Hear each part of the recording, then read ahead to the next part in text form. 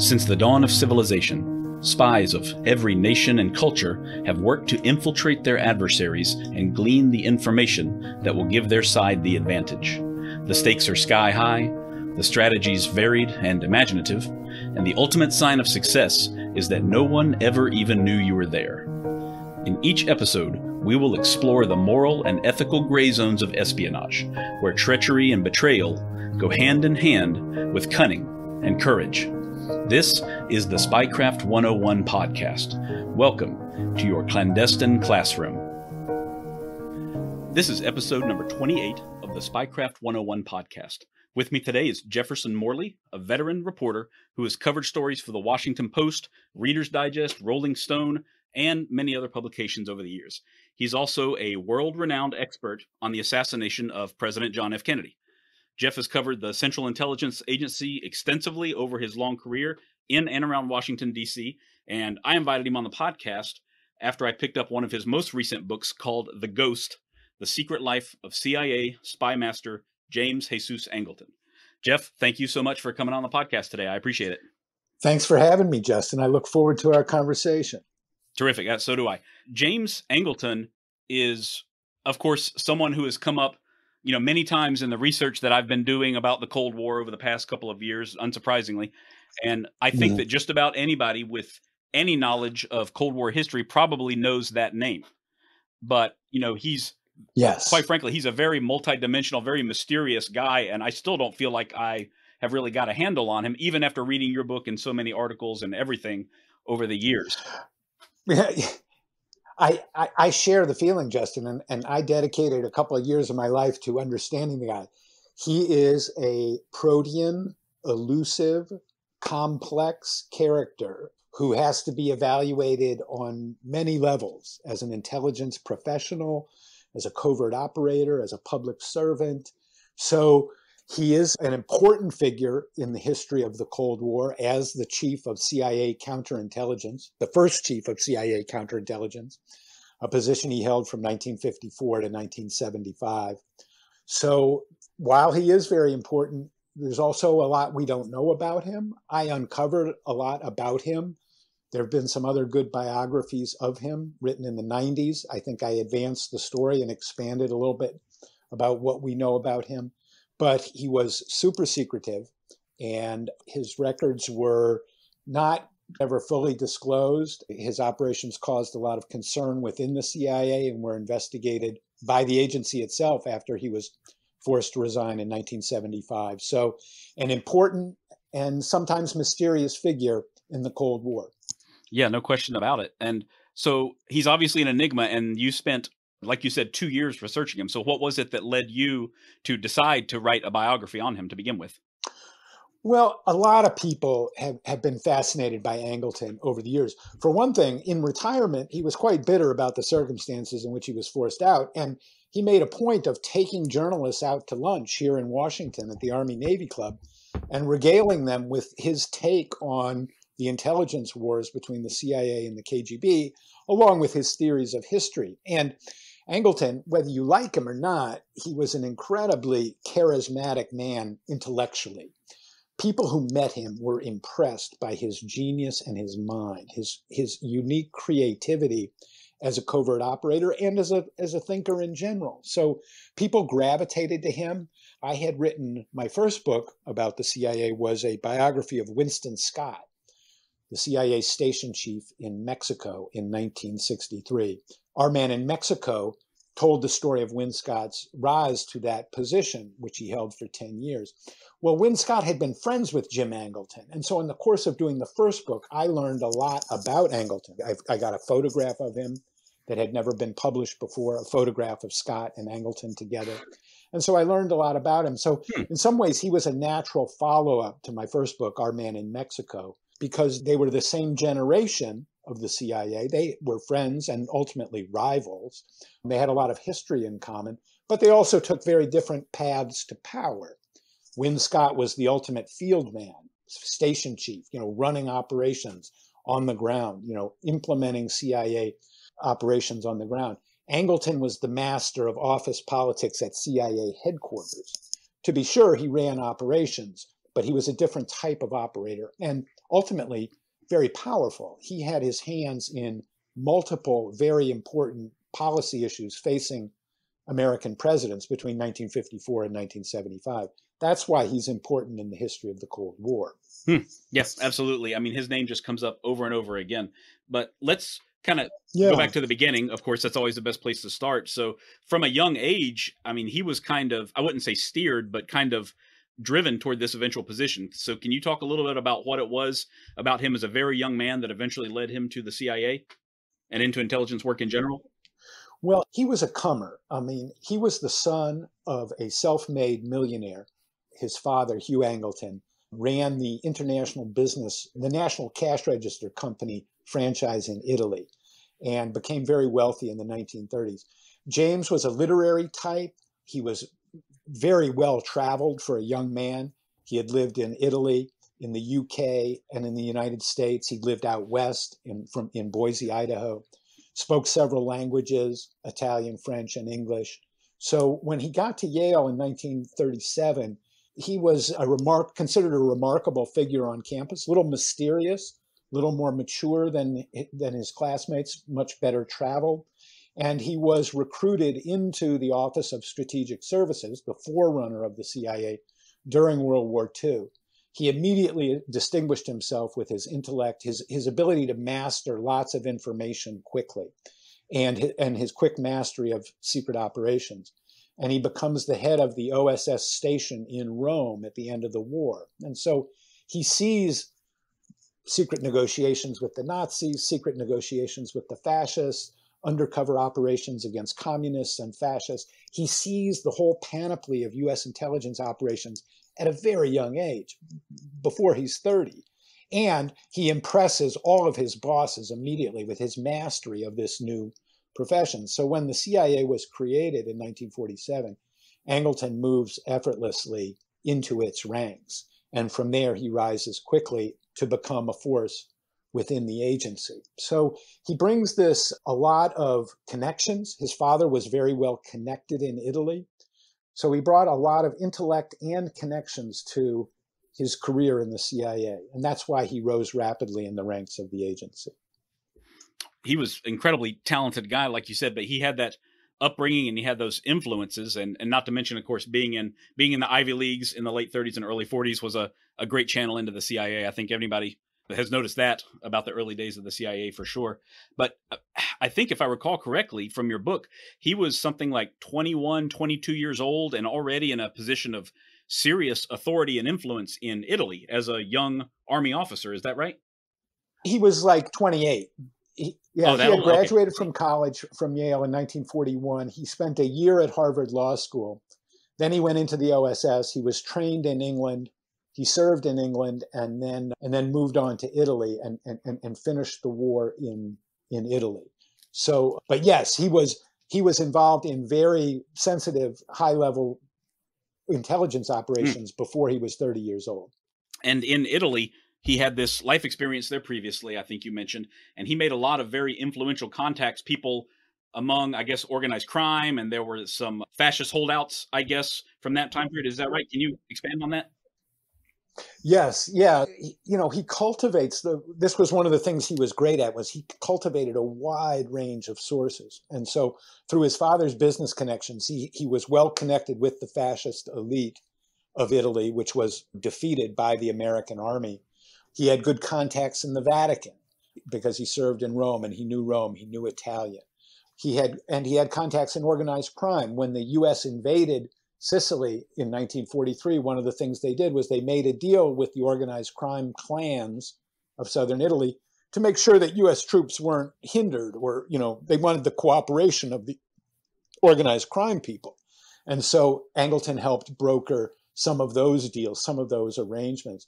One of the most significant things I think that I point out in The Ghost is a story that was known, but I add a lot of detail to about how Angleton protected several high ranking Nazi and fascist leaders after the war, protected them from prosecution the, at the Nuremberg trials so that they could serve as sources of U.S. intelligence after the war. So this was another way of, of, of how he cultivated high level sources was by protecting them from post-war justice. Right. There was quite a bit of that going on on all sides, as a matter of fact, at the end of the war. I think those guys were being snapped up by the, the highest bidder. It seemed like a lot of former Nazis and I guess some Italian fascists as well were being divided up among the Brits and the Americans and the Soviets and everything. So he was able to grab a fair share of valuable contacts. Well, yeah, the,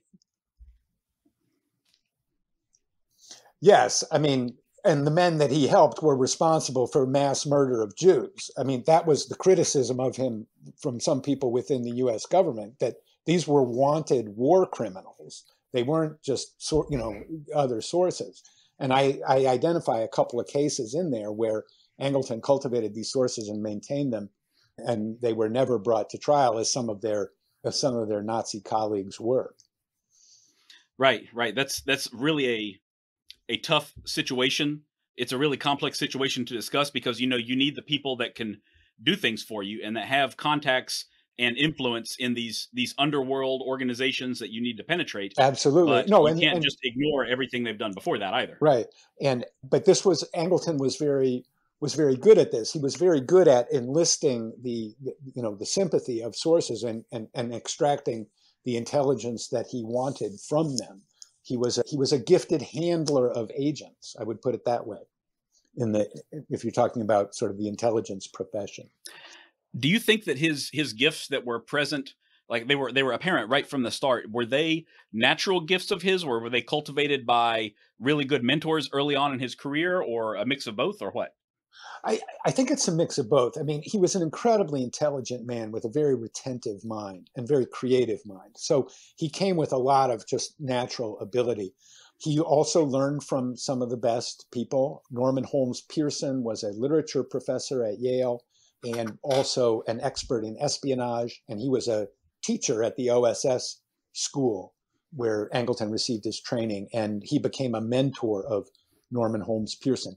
He also benefited from the training of one of his British instructors, Kim Philby, who it turned out would be a Soviet spy, but was a, a gifted intelligence professional in his own right. And Angleton became friends with him. So Angleton both brought a lot of natural ability to the job, family connections, but he also trained with some of the best people in the business. And remember, too, you know, after the war, the United States had never had a foreign intelligence service. The FBI had a few offices overseas, but we never had a, a foreign intelligence service, unlike the United Kingdom or the Soviet Union, which had had intelligence services since early in the 20th century. So these the, the pros at the work of secret intelligence were the Brits and the Russians, and the Americans had a lot to learn. And so Angleton was part of the generation that was catching up.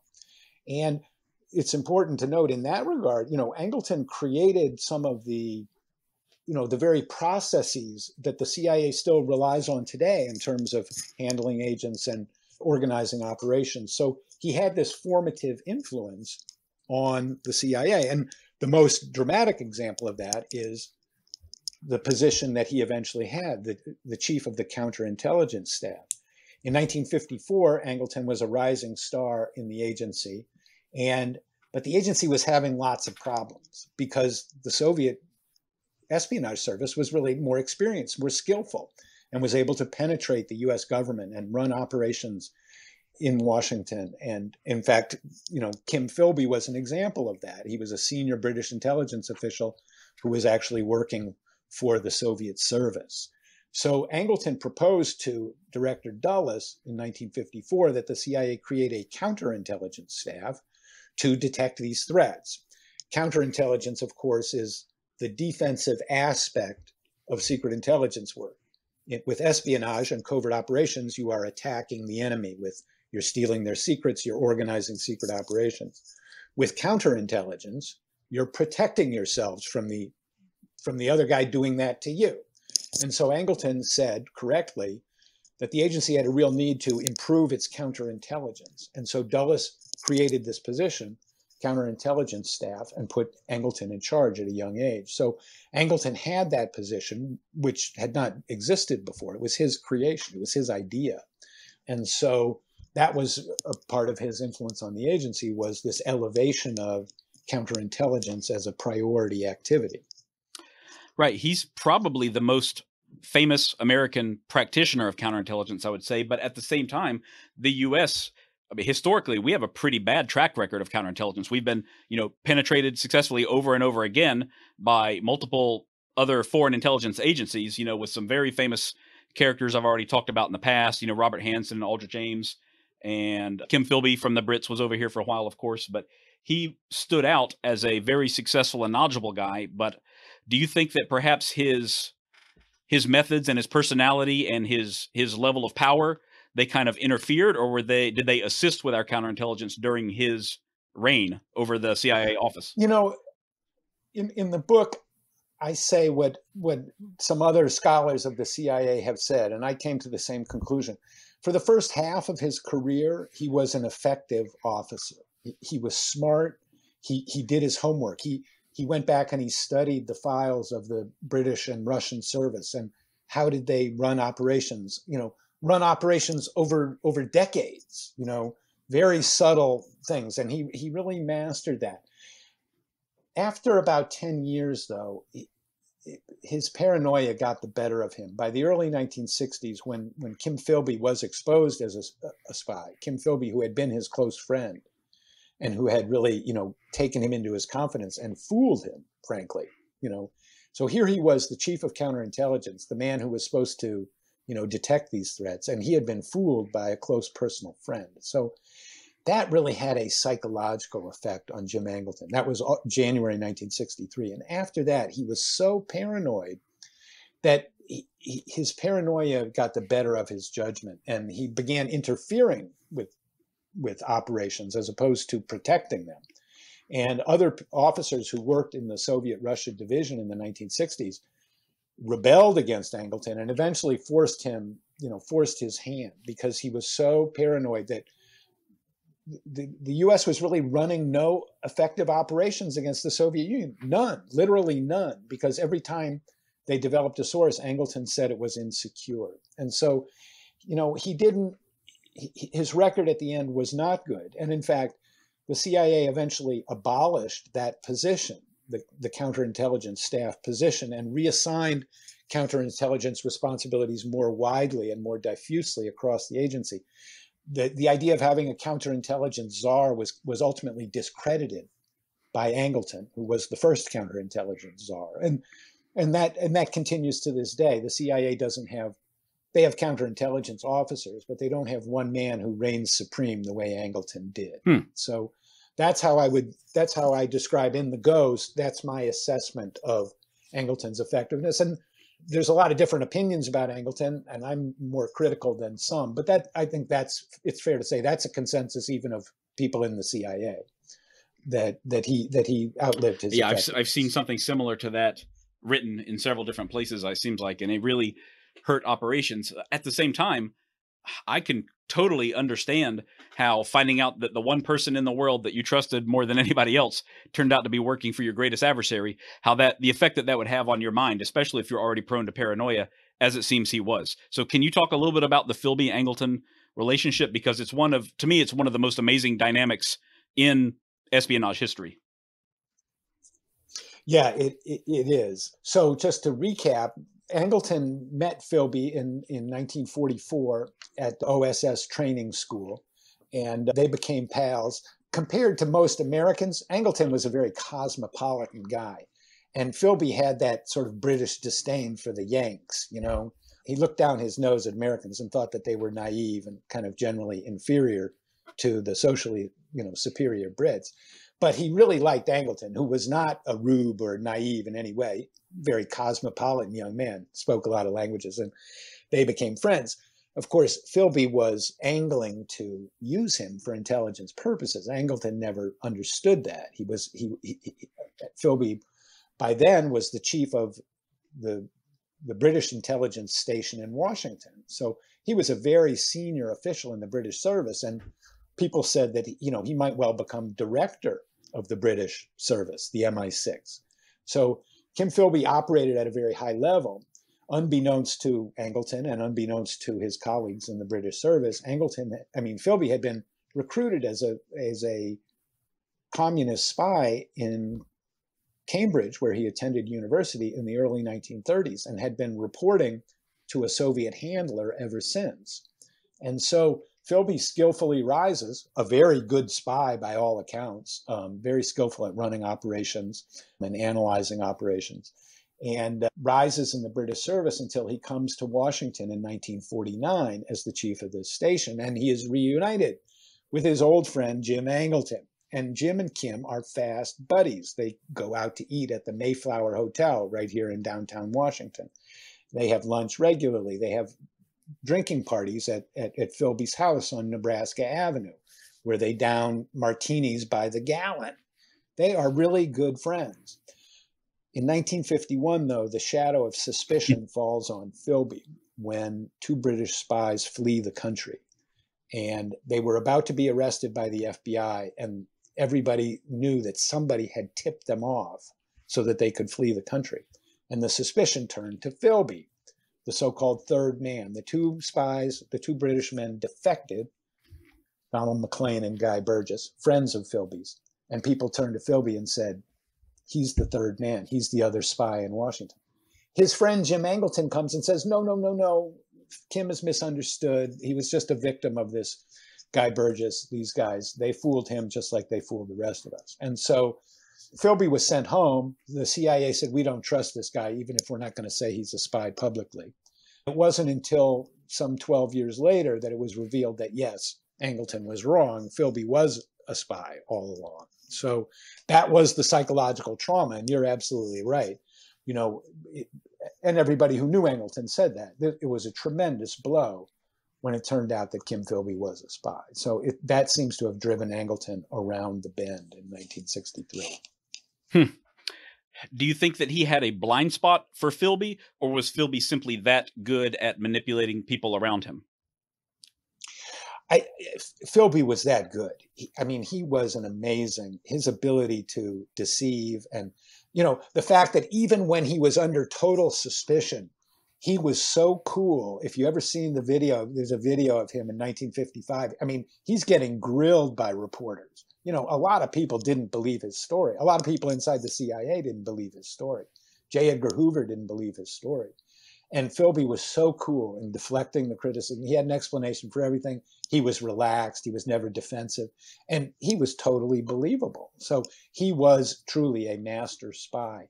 I do think that, you know, Angleton let his guard down and that's you know that's what a great spy gets you to do. He spoke he probably spoke more than he should have but you know at that level it was very hard it's very hard for top intelligence professionals not to share confidences. I mean that's how you get intelligence. You talk to another service and you get the access to their information. So you know the brits were the pros and philby was a friend so angleton spoke freely with him. And in retrospect he spoke too freely hmm. Yeah, what a story. Yeah. Really, really yeah. amazing stuff there. And it it does make everything that happens afterward more easily digestible, I think. But this certainly caused a generation's worth of trouble for the CIA for as long as Angleton stayed in power there, right?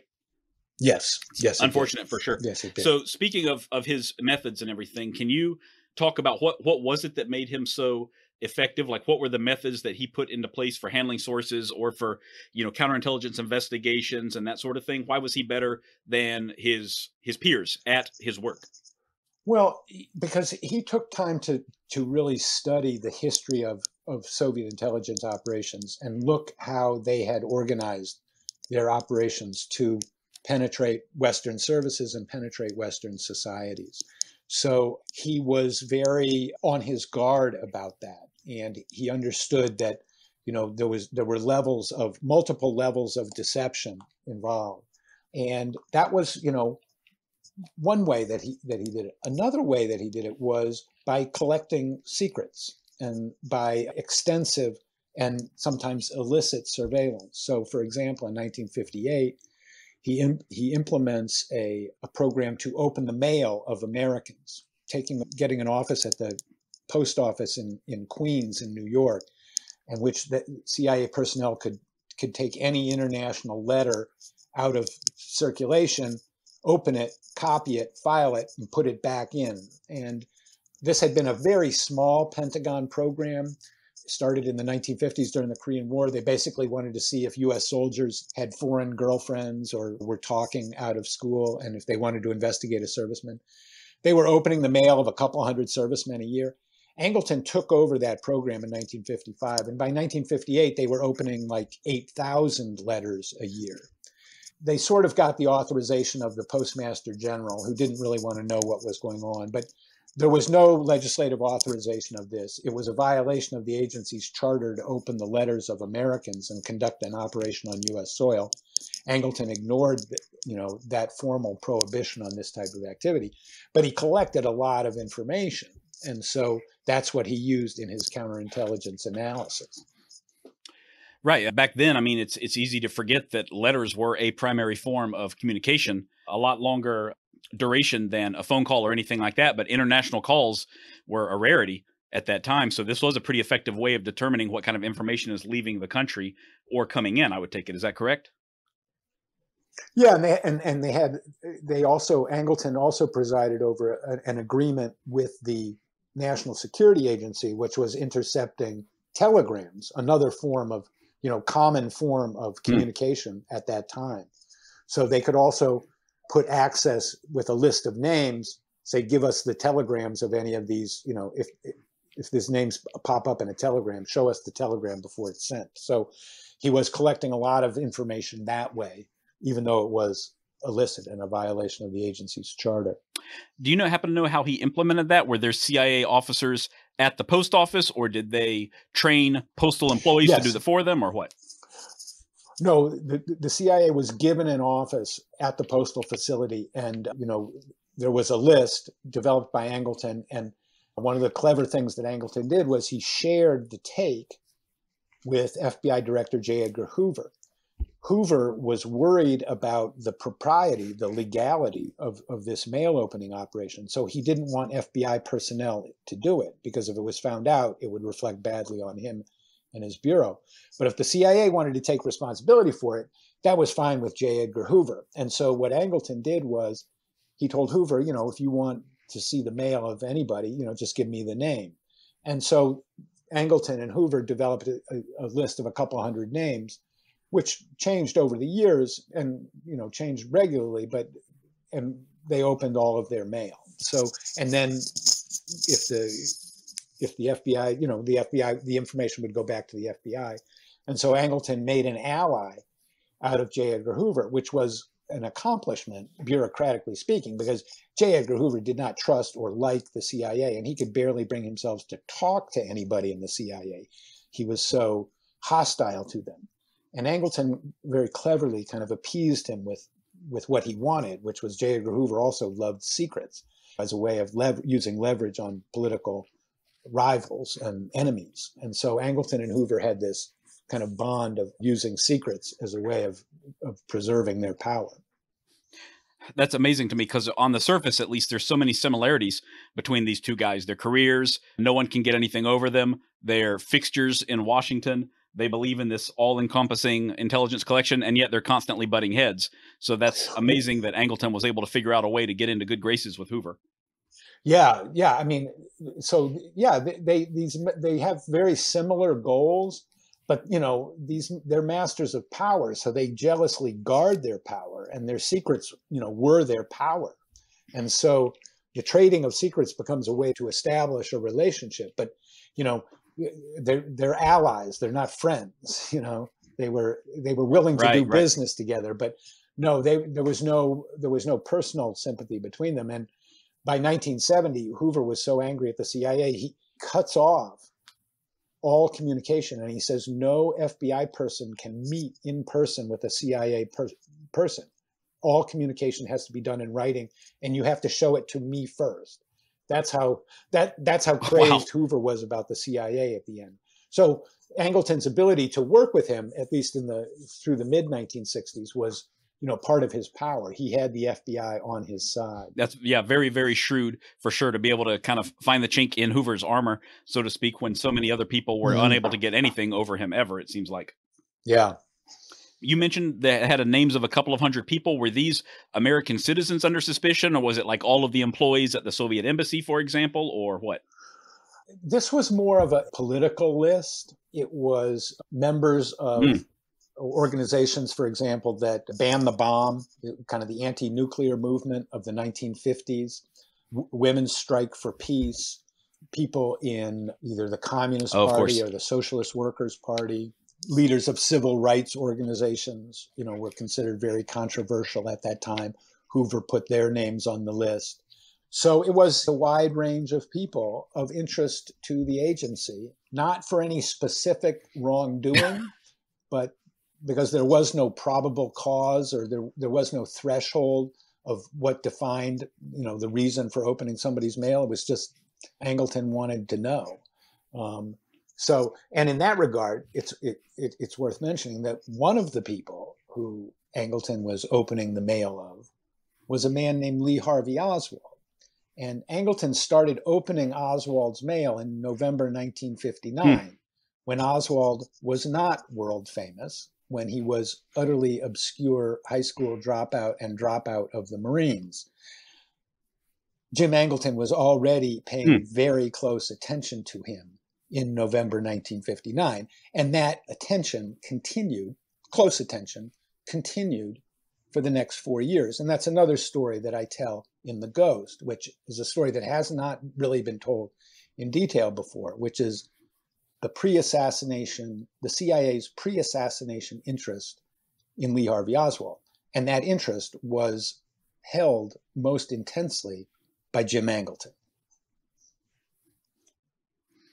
Wow. You know, it's amazing. I was just about to comment before you mentioned Oswald. I was going to say it's clear why they kept this program of opening the mail so close hold because, you know, the optics of it getting out that they're looking at the communications, the private communications of civil rights leaders and peace organizers and that yeah. kind of thing. That's that's a terrible look, right? Like by any stretch of the imagination, despite the fact that yes, those people are are vulnerable to influence by, you know, Soviets and and that sort of thing, but you know, when you mention Oswald under suspicion from 1959 yeah. on or under no, observation, I should say, it really just shows that he is three steps ahead of everybody else in so many ways. When Lingual was exposed in 1974 by Seymour Hersh, reporter for the New York Times, that's when Angleton was fired. I mean, because the public revelation that that they had that the CIA had been spying on Americans that was not acceptable to the leadership of the of the CIA or to the Congress, and Angleton was fired. So, yeah, it was not something that was publicly defensible.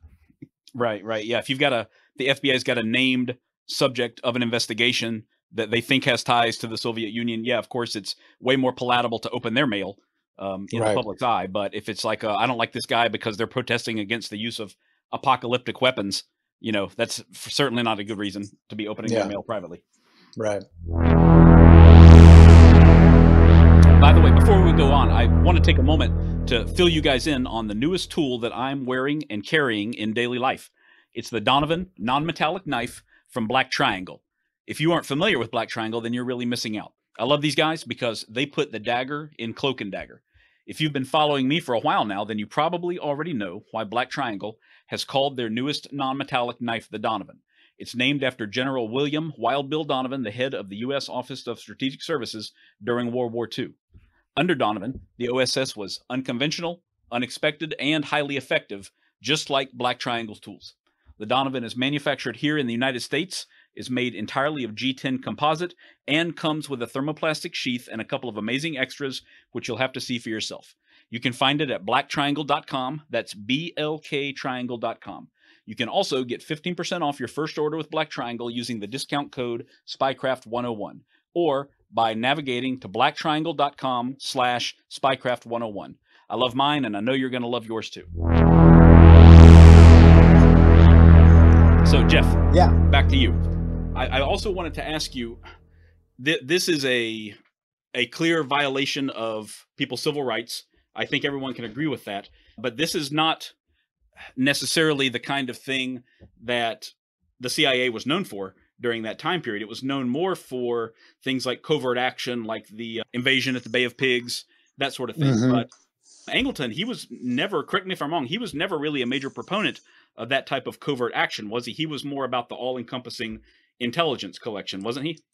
Yeah, you know, Angleton came up. There were two. There were two kind of components of the early CIA. There was the Office of Special Operations, and there was the Office of Policy Coordination.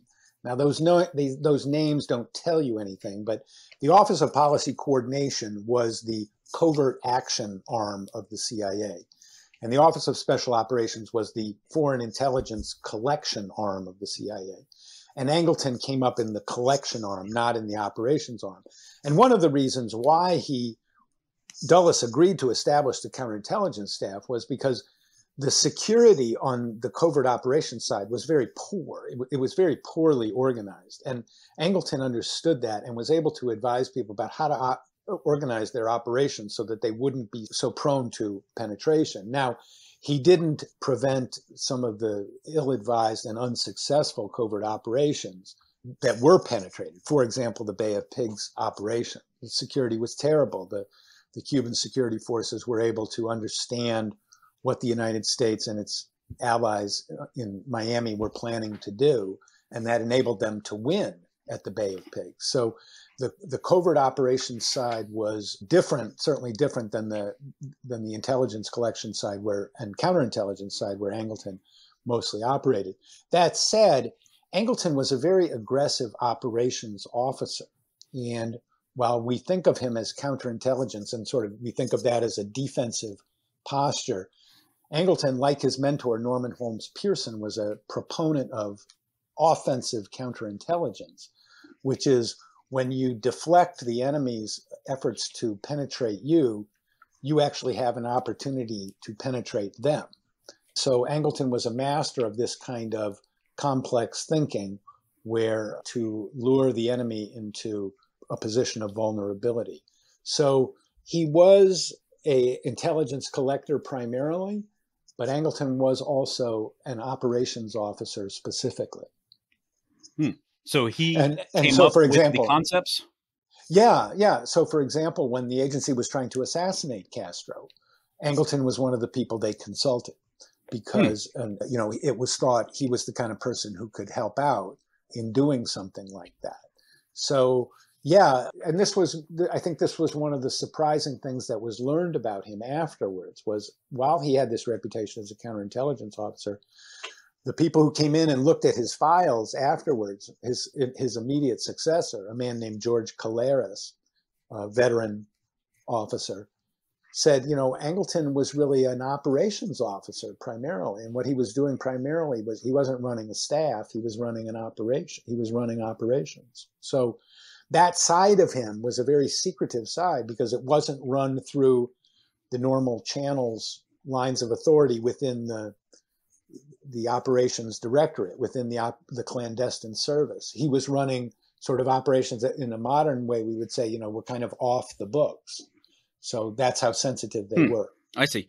Well, what was his relationship like with his his peers at that time, these senior guys in the CIA? Because in counterintelligence, like you said, that's often internally focused. So typically, you know, I wouldn't think that intelligence organizations really want a very, very powerful CI guy who is constantly looking at their own people and constantly finding fault in their own activities, right? That's kind of a hard pill to swallow.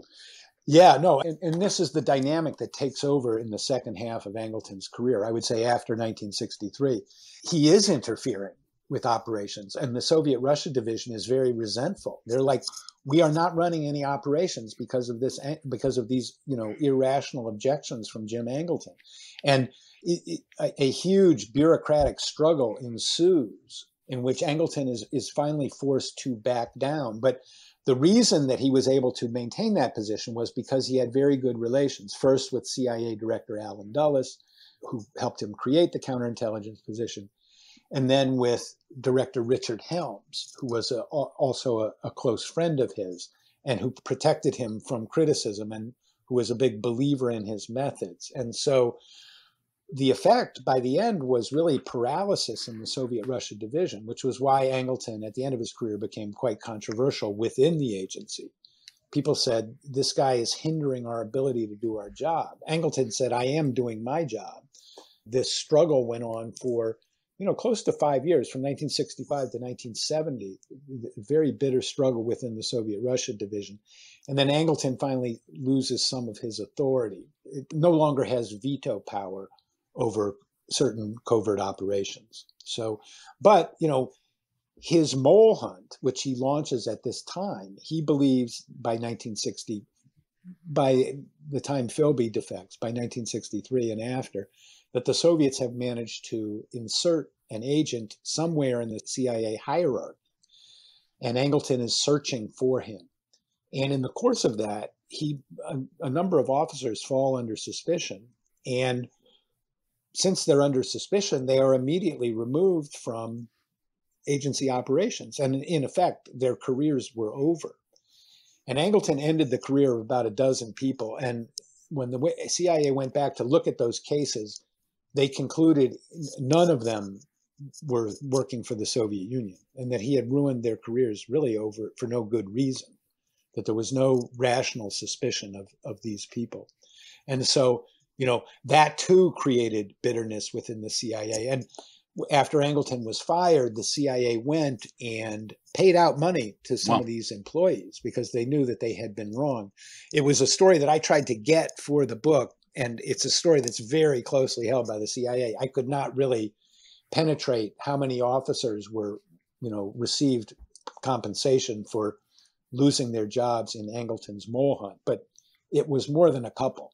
So the agency itself wow. understood that, that that Angleton had gone too far, and that they needed to compensate people who had not been treated fairly were most of these guys to your knowledge were they all in the like the soviet and eastern european division or were they spread throughout well, Angleton was working on comments made by a defector, Anatoly Golitsyn, who had been a KGB official. He had been the, the KGB station chief in Finland. He was not a high ranking KGB official, but he was not low ranking either. And Golitsyn said that he knew about the mole and he convinced Angleton that the mole was real. I think Golitsyn was making it up. I, I, don't think there was a mole. Certainly, Angleton never found one, and the CIA went back and revisited the issue a couple of times, and other analysts didn't find the mole either. So I don't think there there was a mole, but Angleton made a very persuasive case. And using the clues, so Golitsyn told Angleton that the Soviet spy was known as Sasha, that his last name might have begun with a K. So Angleton pulled the files of a bunch of officers who whose last name began with K and said, "Oh, maybe it's him." And so, for example, there was a guy who was up for a job in Moscow. So he, you know, he'd done a dozen years, and this was like he was getting his big break. He was going to go to Moscow, you know, front lines of the Cold War. He was really excited. He gets called in, and they said, "Pal, you are the next station chief in Trinidad and Tobago." And you know, the guy was crushed, and his career was over. And it was all because Golitsyn said, that the mole's last name began with oh, K wow. and his last name began with K. And Angleton didn't really have any more information than that. So, you know, that was how he he was so paranoid that he didn't question his own information. And that's mm. how the injustice was done. And that's how the, you know, the mole hunt did tremendous damage to the CIA. And in my view, and I explain my view in, in more detail in the Ghost, because it's a complicated issue, I don't think there was a mole. You know, other people disagree, but that was my conclusion. There really was a mole. So Angleton was kind of at the end, he was kind of chasing phantoms, in my view. Yeah, very understandable, especially after the we've talked about this deep seated paranoia he had. What was it, do you think, about Golitsyn that made him believable when he had so little real information, real concrete information to provide? Well, you know, the CIA didn't really have that type of defector from inside the KGB before. We'd had another military intelligence officer, Peter Popov, who had provided a lot of information in the in the 1950s before he was caught by the KGB and executed. So one was just a sheer. There was nobody else like Golitsyn who had come from inside the KGB, but I think Golitsyn knew how to feed Angleton's paranoia and so I think he was a little Angleton was a little bit in his overreaction to being fooled by Kim Philby. He was too eager to believe Anatoly Golitsyn. and uh, he went too far in the other direction, in the in the paranoid direction. So I think that's how he came to make those mistakes. Right. Yeah, I can I can imagine somebody telling you what you're already predisposed predisposed to believe is a yes, terrible and, trap to fall and, into, and it's a very human trait for us to do that as well. Yeah, and I interviewed a guy who eventually a retired CIA guy who had studied all of this, and and he told me that you know that was his conclusion in the aftermath of all of this, was that Angleton was just too trusting of Golitsyn, and it just didn't it, it didn't make any sense. If I'm not mistaken, Golitsyn basically cast doubt on every other lower level defector that came before him. Is that right? He said that those guys were all Soviet plants, when in reality, it's very possible that Golitsyn himself was a Soviet plant. Is that right? I never found evidence that Golitsyn was a Soviet plant. I mean, mm. you know, Angleton, by believing Golitsyn, did a lot of damage to CIA operations. So people say, oh, well, that must have been part of a Soviet design. I, I don't think that's the case. I think Golitsyn was a was a smooth operator, and he knew if to, to be continued to be paid attention to and cultivated and supported financially, he had to keep Angleton, you know, on a string. He had to keep Angleton excited about his information. And so he made up things, he added things, he knew how to speak to Angleton's vanity and his paranoia. But I don't think Golitsyn was acting at the behest. I don't think Golitsyn was a false defector. No, I found no evidence hmm. of that. And I don't think anybody in the CIA ever found any evidence of that. And remember, these things were studied very carefully. There were three or four, there were three internal studies of Angleton's, you know, key counterintelligence issues under Angleton's reign. And there was a 10 volume study written by another officer of all of Angleton did, running to thousands of pages and most of which has never been made public. But the conclusions were not favorable to Angleton. Um, and they did not indicate that Golitsyn was any kind of Soviet spy. And no, and nobody, nobody, none of those retired officers who who spoke out after the fall of the Soviet Union, KGB officers came forward and told their stories. I nobody see. ever said, "Oh, you know, we fooled you guys by sending Golitsyn over there." Nobody ever came forward with mm. a hmm. story like mm. that. So, I, doubt it. Interesting, interesting. That's amazing that he was able to. I don't know if I'd say inadvertently, but unintentionally cause this tremendous level of paralysis through the CIA and yeah. defect from the Soviet Union, but effectively carry out their desired end state at the same time and personally profit from the whole situation. That's that's quite amazing. Quite a hat trick. yeah. Whatever happened to Golitsyn? Is he is he living under an assumed name somewhere now in the U.S. or or what? Golitsyn kind of vanished, and he, he was in some equivalent of witness protection. I don't believe he's alive, but I can't prove that he's dead. mm, gotcha. so he would be very, very old now if he was alive. I imagine he's he is dead, but there, there's nothing there's nothing official about that. That's never been confirmed.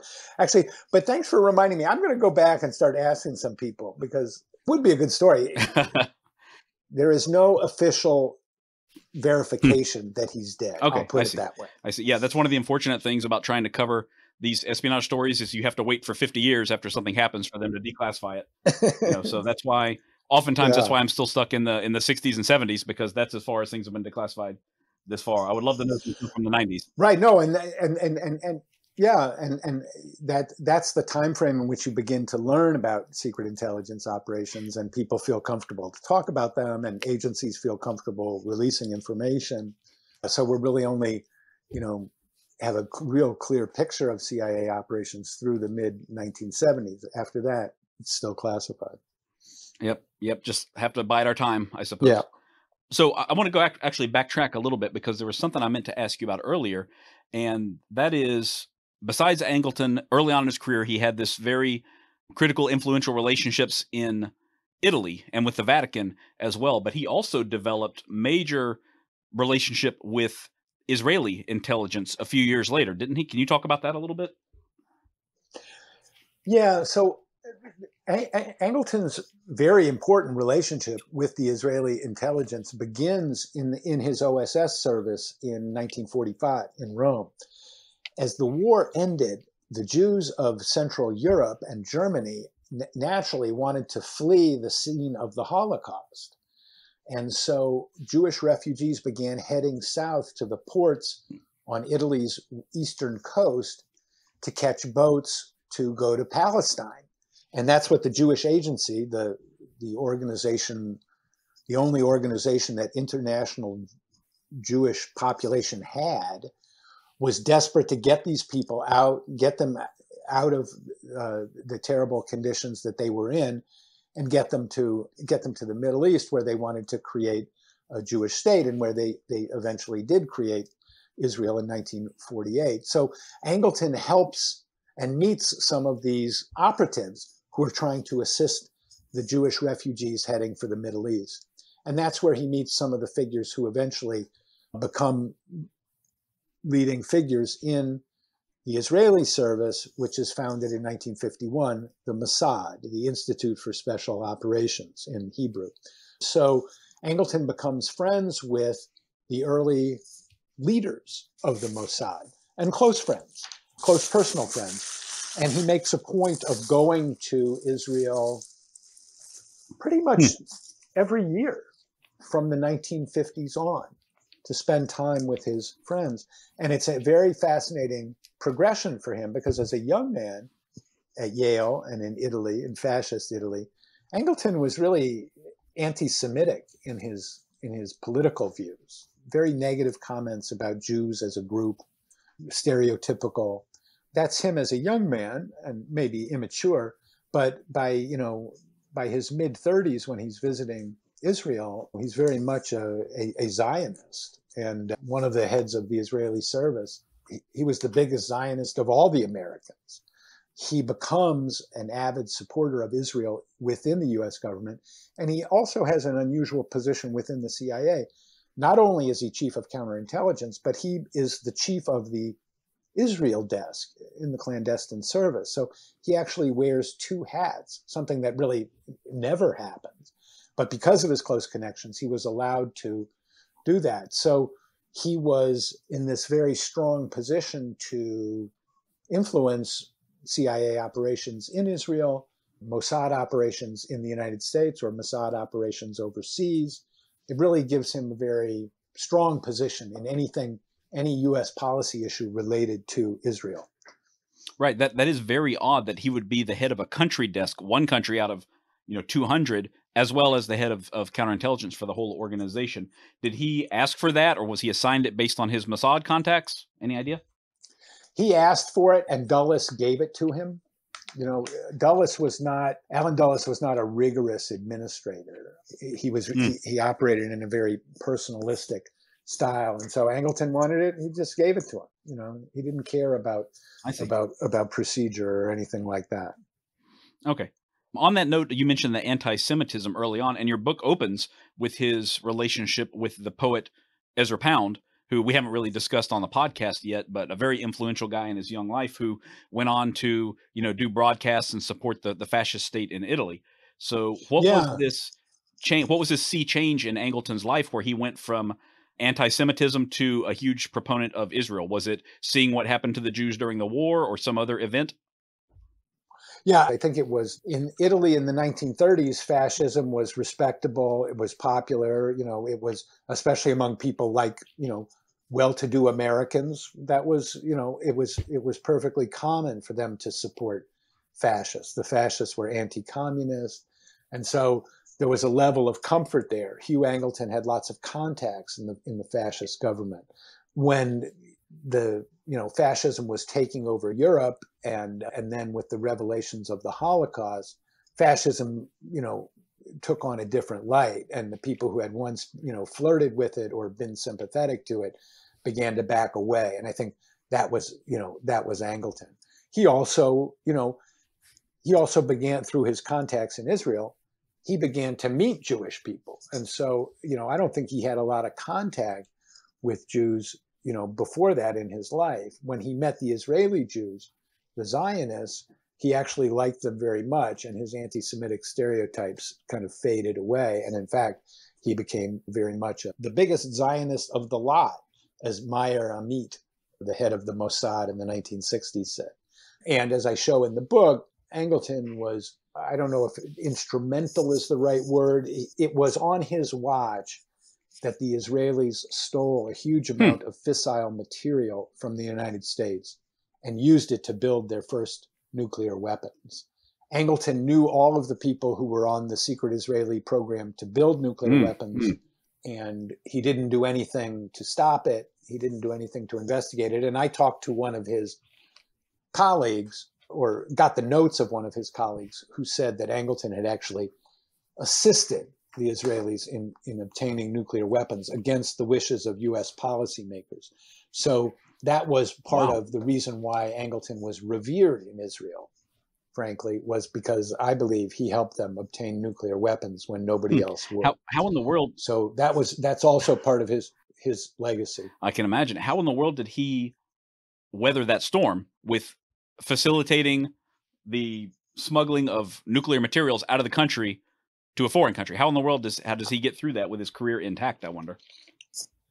Well, it was not known at all during his career. The efforts to investigate ah, it was it, there were efforts to investigate it after in the Carter administration after he had left the government and the CIA scientific community, you know, the CIA resisted those efforts to investigate. And so the the full story really didn't come out until you know much later in the 80s and 90s and was in my book in the ghost some Israeli intelligence officials fill in some of the details of the story. And this the documentation that I found, which was the kind of a informal report put together by another counterintelligence officer who worked for for Angleton for many years and who was stationed in Israel.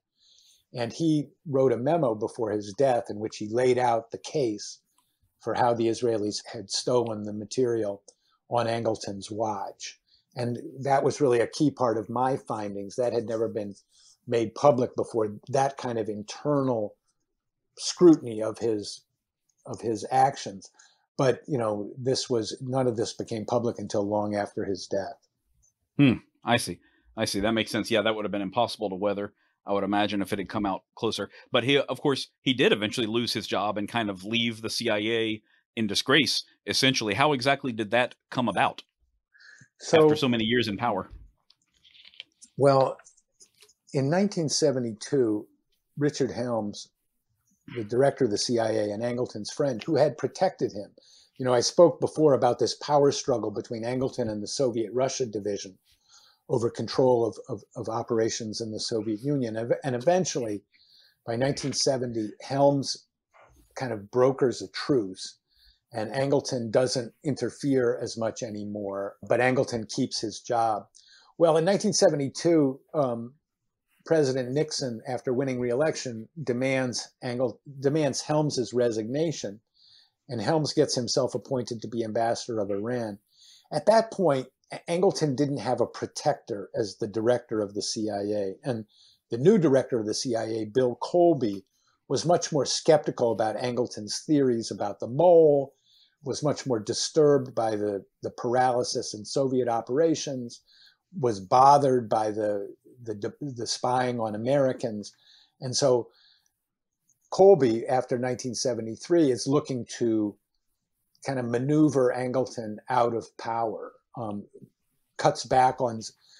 Colby, for example, cancels the lingual operation, the mail opening operation. Colby said, This is, you know, we shouldn't be doing this. This is beyond our charter and I'm stopping it. And so without his bureaucratic protector as director, Angleton is vulnerable. At the end of 1974, New York Times reporter Seymour Hersh gets wind of the domestic spying operation, and people inside the CIA start telling him about it. Yeah, we were spying on Americans. And there had been opposition within the CIA. A lot of people said, we shouldn't be doing this. You know, we're spying on our own kids. This is not our job. You know, and so there had been internal debate about it, none of which came out in public until much later. But internally, well, when Hersh came to Colby and said, Look, I've got the story of this operation, Colby didn't deny it. And with that, they knew that they had a big story because if the CIA wanted to, you know, kind of downgrade the story, they would have denied it flatly or they would have said something. But Hersh and the New York Times took Colby's position as confirmation of what they were saying. So they blew up this story, and it was not banner headline, but it was like a triple decker headline on the New York Times in December 1975. and when that came out, Colby had the excuse that he wanted. He, he fired Angleton. President Ford and his chief of staff, Donald Rumsfeld, didn't object. There was no way to defend the agency on from this charge. So, you know, Angleton was kind of disgraced and fired, which he was very bitter about. He felt that he had only done, he had only served the agency well, but his actions were not publicly defensible, and the agency was not going to go to bat for him under those circumstances. You know, by 1975, the agency had been implicated in the Watergate burglary. These former CIA people were, you know, breaking and entering on behalf of the president you know, the CIA was suffering a lot of bad publicity in the 1970s, and this revelation was among the worst. So that was how Angleton was was fired, and you know, it's very poignant at the end of my book. You know, this man who spent his whole life in the shadows, utterly unknown, even within the CIA, people didn't know who Jim Angleton was. And the next thing you know, he's got TV cameras camped out on his lawn of his house in Arlington. You know, and the spy is like you know, caught in the, these bright lights. And it was a very shocking development for him personally. And uh, he took, you know, he, he, he didn't take it very well. He felt humiliated, disgraced. He had a lot to answer for. And so that was kind of the end of his career. And a brilliant man, no question, fascinating. In my book, I'm, you know, fairly critical of the actions that he took in places like the spying on Americans and the handling of the Oswald and the surveillance operations. But I try to give him his, he was a very influential character. A lot of people really admired him, certainly in the early parts of his career, were very impressed by his thinking and his mastery of the intelligence profession. So, a, a, a disappointing, almost tragic end for him personally. You know, a more complex story for, you know, U.S. citizens and for the CIA itself. You know. Angleton was not one of the heroes of the CIA. He was more, he's regarded by the agency itself as a more problematic character and, you know, in some ways a, a warning of how, you know, an intelligence professional can, can go awry. Right. That's, that's very unfortunate. I think early on in your book, you describe him as possibly the most powerful unelected official in Washington during his tenure at the CIA and for him to have these personal flaws that eventually outshined and overcame his personal talents is really unfortunate because it sent the CIA down a, a, very dark road and the American intelligence community and the American government in many ways down a dark road as well. So you have to wonder where we would be now if he had left that position earlier or if he had not had those those flaws that blinded him to what was really going on. Well, Dick Helms always said or said later in life that that he should have he should have moved Angleton earlier. That was one regret that Helms had. That Ang- Angleton, he, he was a flawed personality at the end, drinking too much. And Helms regretted that he had not curbed his power sooner. Hmm. It would have saved the agency a world of trouble. That's true if he had done that. Absolutely. Seems that way. Did he say why he did not move him earlier than that? He thought he was still just untouchable, or was he doing a good job on other things, or, or what exactly? He said he he just trusted him, hmm. even after the point where he, he probably didn't deserve that trust. That's a that's a common story for sure. That's oh. happened many times in the past, unfortunately. Yeah. I do have one final question for you, and I think you've already at least partially answered this one. But a lot of people have, in the past, they have accused Angleton himself of being the mole, and I wonder, you know, you've already talked about this a little bit, but why do you think that is, and what do you think about those accusations? I think they're ridiculous. I mean, this was one of these agencies that one of these stories that the agency investigated and found no basis of it. The story originated with another counterintelligence officer who worked with Angleton and believed in his theory of the mole. And by 1973, when the you know this the damage that had been done to Soviet operations in the late 1960s was common knowledge inside the CIA. And people talked about Angleton as, you know, having screwed things up. And this guy went back and used Angleton's flawed methods to analyze Angleton's career. And he said, maybe since he screwed things up, maybe he was the mole. It's pure conjecture. There was no There was no hint of that Angleton had been in touch with a Soviet intelligence officer. The idea that Angleton had communist sympathies. I mean, let me tell you, let me stress you, as somebody who spent a couple years investigating him, it's ridiculous. There is no foundation to it. To me, it is not possible that Jim Angleton was a communist sympathizer or helping the KGB. That was antithetical to everything he stood for. And there's no evidence for it. So I don't take it seriously at all. Okay, yeah, that's that's kind of my thinking as well, but I haven't looked into it anywhere near the depth that you have. But it's it's yeah. the kind of thing that it's it's so tantalizing, you know, to think about that because so many high level defectors have been found and double agents and all that that it it kind of gets the imagination going. Yeah, and yes, I mean, in, the intelligence business is prone to this kind of parlor game, and yes, very improbable things happen. You know, serious people didn't think Kim Philby was a spy, and he was. You know, but you know, when you look hard at it and you look at it from every angle and and you don't look at it with the purpose of for the purpose of trying to vindicate your own theory, but if you look at it just as like what is, how to assess all the evidence, I see no evidence of it. Literally not one. And when I ask people who think that Angleton was the mole, I say, you know, show me one piece of evidence that supports that theory, other than the conjecture that you know, other than the reality that these operations were disrupted and that harmed the CIA. But aside from that, is there any evidence of intent or contact or sympathy with the KGB? There is none, I assure you. Okay. That's about as solid as an answer as we're going to get on that one. I think case closed. yeah.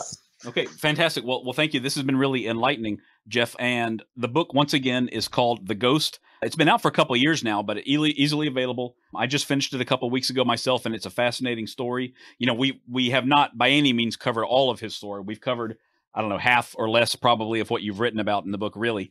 So I encourage all my listeners to go out there and pick yeah. this up. It's really interesting. He's an endlessly fascinating character, and you should read as much about him as you can. So thank you so much, Jeff. I appreciate it can I just throw in one plug for my next book? Because yes, I was just about to ask you what you're working on now. Please if, if, if, people are interested in this book, my next book is called Scorpions Dance, and it's about the CIA and Watergate. And specifically, it's about a man who we've talked about a little bit today, Richard Helms. And so, hmm.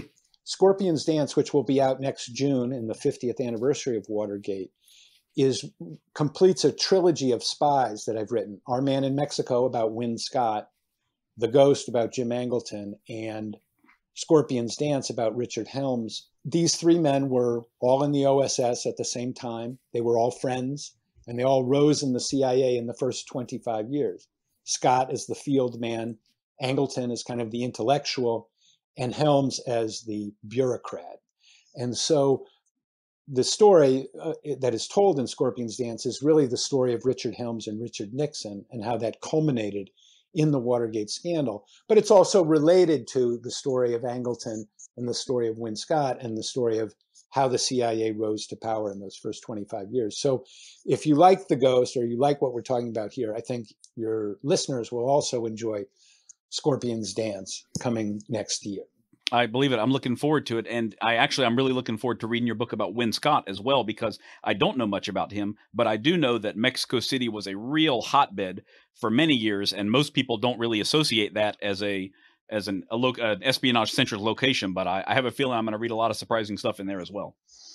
Yes, definitely. You will enjoy Our Man in Mexico.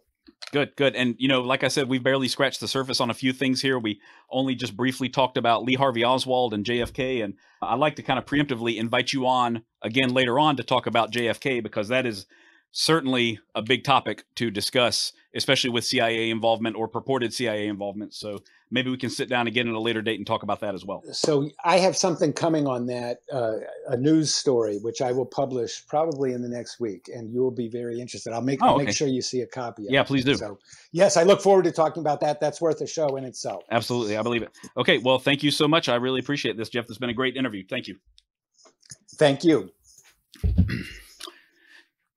If you're interested in more of Spycraft 101, look for my page on Instagram at Spycraft101 or connect with me on Patreon.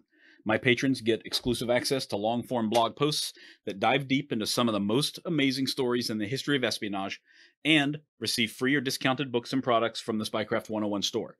That includes a free PDF copy of my own book, Spy Shots Volume 1, 101 True Tales from the World of Espionage. I want to say a big thank you to all of my patrons, including Ted C. and Nick M. With your support, I've been able to fund my research and publication across multiple platforms to date. Thank you all for listening, and I hope you'll stick around because there is lots more to come. Thanks for listening to this program brought to you by Daydreamer Network. If you enjoyed the episode, please don't forget to rate and review on Apple Podcast or your preferred platform. Your feedback allows us to rank on the best new shows list and continue to grow our podcasts in order to bring more unique and talented storytellers to the network.